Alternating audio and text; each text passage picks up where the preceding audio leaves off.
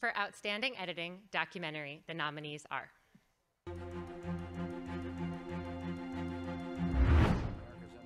9 11 Inside the President's War Room, Apple TV Plus. The First Wave, National Geographic. A Choice of Weapons, inspired by Gordon Parks, HBO documentary films, HBO. Four Hours at the Capitol, HBO documentary films, HBO. Toxic Pigs of Fukushima, Vice News, Vice.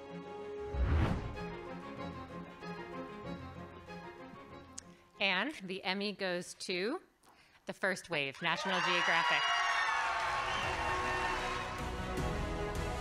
Accepting the Emmy, Francisco Bello, editor.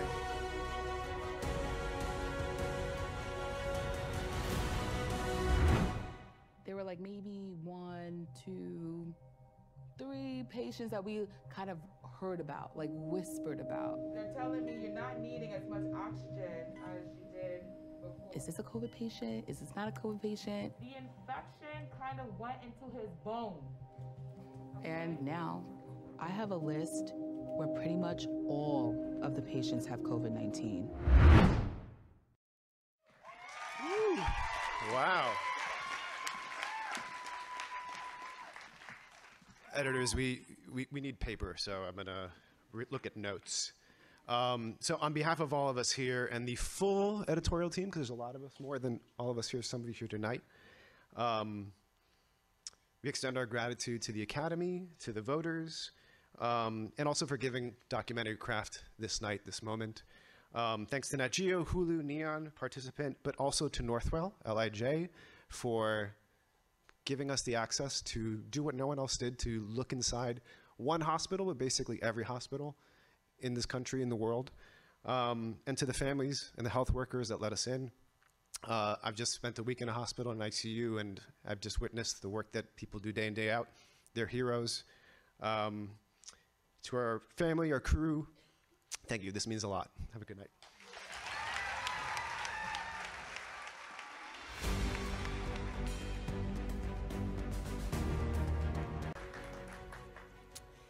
Okay, so let's take a look at the awe-inspiring cinematography where those behind the camera have mastered the commitment, the style, the savvy, I mean, the balls it takes to bring an indelible moment to life through their lens. In the category of Outstanding Cinematography Documentary, the nominees are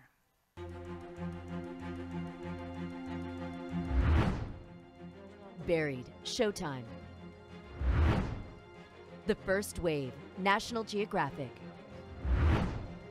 The Elephant and the Termite, Nature, PBS.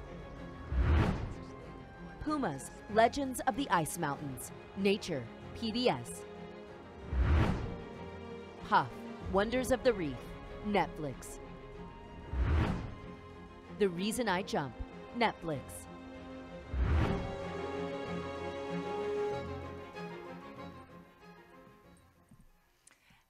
Emmy goes to The First Wave, National Geographic.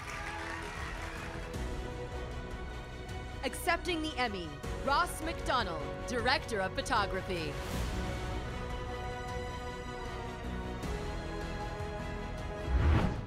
It's been a sleepless night.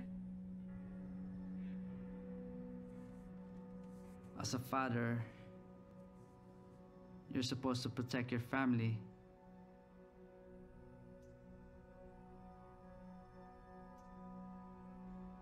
It'll be okay soon.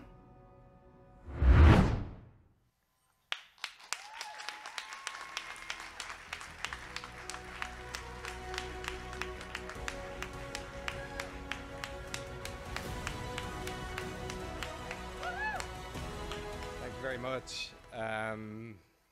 This was really a once in a lifetime filmmaking experience uh, to capture firsthand the hopes and fears, the tragedies and the victories of the early days of the COVID pandemic uh, was an indelible experience. And uh, I shared it with Brian Dawson, Alex Pritz, Thorsten Thielow, our wonderful director and cinematographer, Matt Heineman, for everyone at our Time, Participant, Neon, and everyone who supported this film, thank you. And mostly for the staff at uh, Long Island Jewish Hospital, for the patients and families who allowed us into their lives at their most fragile moment to create this incredible film. Thank you.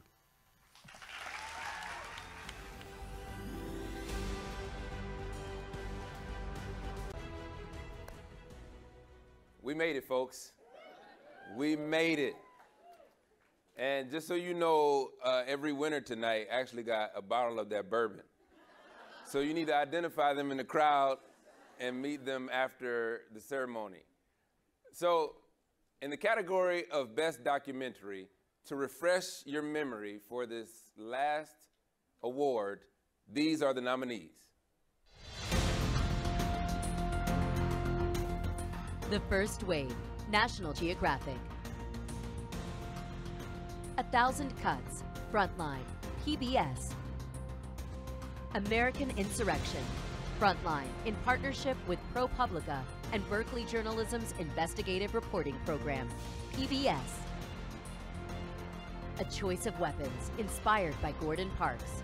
HBO documentary films, HBO. Four Hours at the Capitol, HBO documentary films, HBO. In the same breath, HBO documentary films, HBO. Obama, In Pursuit of a More Perfect Union, HBO documentary films, HBO. The Line, Apple TV Plus. Paper and Glue, MSNBC Films, MSNBC. The Rescue, National Geographic.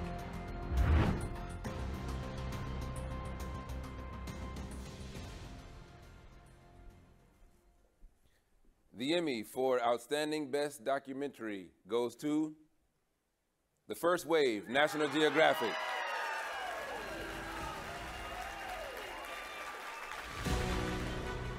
Accepting the Emmy, Matthew Heineman, Director, Producer.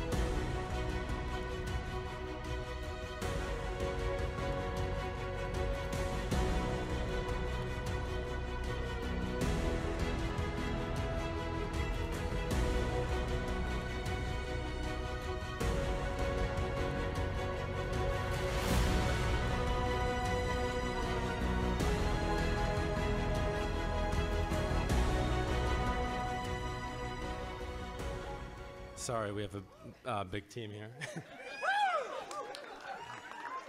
um, just incredibly, incredibly humbled to be in this room.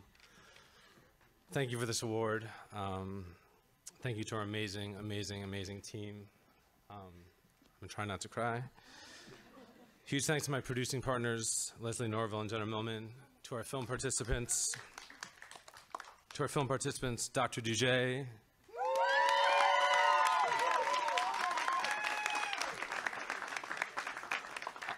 Ahmed and Alexis. Uh, Brussels. Uh, Kelly. and Carl, wherever you are. Um, to our partners in Nat Geo, participant in Neon for believing in this film. We feel just incredibly honored uh, that we had the opportunity to document through a brave group of doctors, nurses, and patients over four terrifying months the impact of this pandemic. I hope this film will ultimately be a testament to the power of the human spirit when faced with one of the greatest threats uh, the world has ever encountered. Again, just incredibly humbled. Thank you all so much.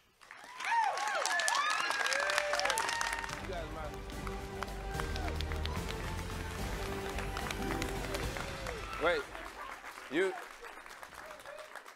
Y'all might y'all might as well stay on stage because ain't no way we're gonna get all of y'all off before I say goodnight. It's like half the audience is up here. Congratulations to y'all. I mean, what what a night, yeah?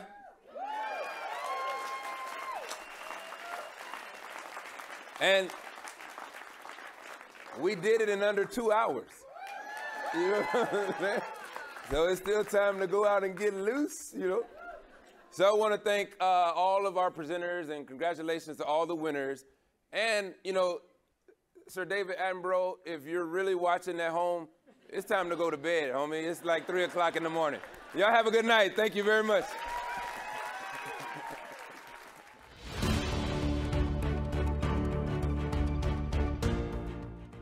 In all categories, the News and Documentary Emmy Awards are judged by members of the National Academy of Television Arts and Sciences, Inc., or other experienced television professionals. Voting is conducted securely online by panels of industry peers. The results of all the secret voting are known only to the independent accounting firm of Lutz & Carr, LLP, and EY until the broadcast. Full competition rules and guidelines are available at the Emmys.tv.